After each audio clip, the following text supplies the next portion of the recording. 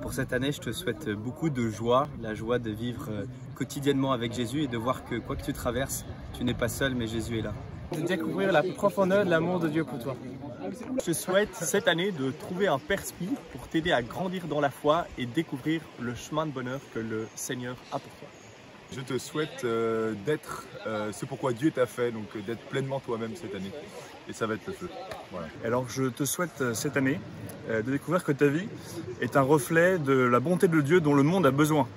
Je vous souhaite beaucoup d'espérance cette année.